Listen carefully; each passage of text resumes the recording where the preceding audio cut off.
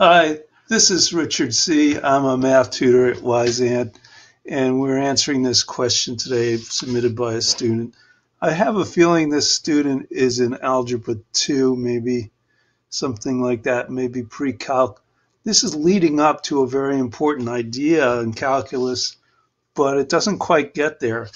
And we'll talk about that uh, at the end let's just go through the mechanics of the problem. Uh, we have this function. It's not, doesn't come out very well, but this is just 6x squared plus 7. So I'll just fill that in to make it easier for you to read. This 2 is an exponent. Now f of a, all we do here is we're going to plug, actually I think I'll just use some color here just to make it a little more interesting visually we're just going to plug a into this expression. So a is replacing x, so it's just 6a squared plus 7. f of a plus h. This is all we're doing. It's another replacement rule. We're just replacing x with a plus h. This is called, what's inside this is called the argument of the function. And the argument can be a single variable, but it can also be an expression. But it's just, you just use the replacement rule. So it's going to be 6 times A plus H quantity squared plus 7. And if we just FOIL this out, we're going to get 6 times A squared plus 2AH plus H squared plus 7. And now we're going to take the difference. This is called the difference quotient.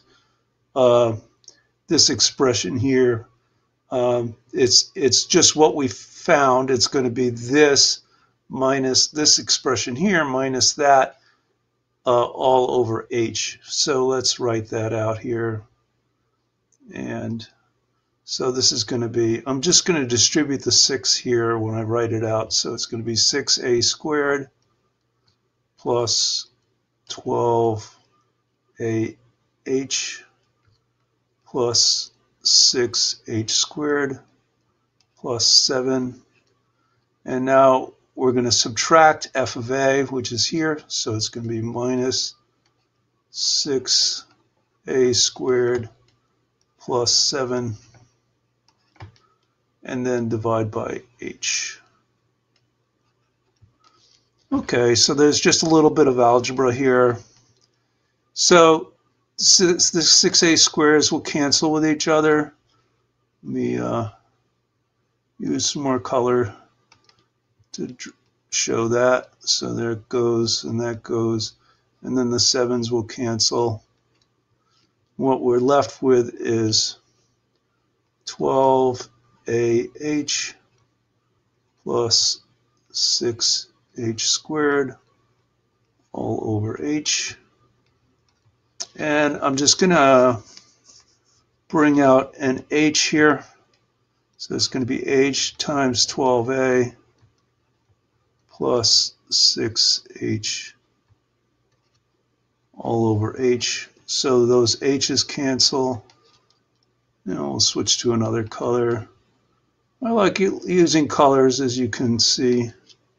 I just think it helps keep things interesting.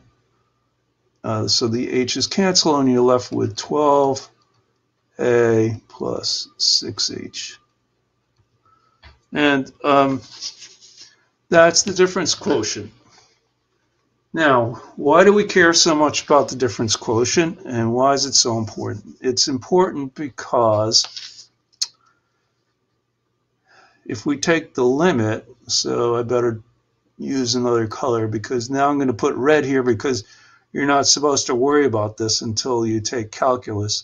But if we take the limit as h approaches 0 of f of a plus h minus f of a all over h that is actually the first derivative of the function, which we write f prime of a evaluated at the point A. So I'm not going to take the time to get into this. This is actually a very interesting lesson to do, but I'm not going to I'm not going to take you through it because it's not called for here. But um, that's what you're leading up to. I always like to show students why this why something is important and put it in context. So the context of the difference quotient is that in and of itself, it's not particularly interesting. But when you take this limit um, of the difference quotient, uh, you're, you're getting something called the first derivative. And this is actually the slope of the tangent line uh, at uh, A when x is A and y is uh, f of A. So you'll you'll figure this out when you get to calculus. But in the meantime, please get good at this. Um, it's really just straightforward algebra, and you shouldn't have any trouble. If you were to take this derivative as h goes to zero, this term would uh, go away because this would become zero, and you and you'd find that f prime of a is 12a. Uh, but you don't have to worry about that right now. Okay, so that's it for this lesson. This is a pretty quick and easy one. I'll see you again next time.